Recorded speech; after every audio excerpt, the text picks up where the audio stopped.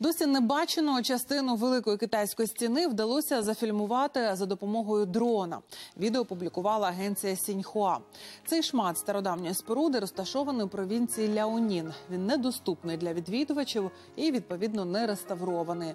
Протяжність ділянки 1700 метрів. Цю місцевість у Китаї вважають найкрасивішою частиною стіни.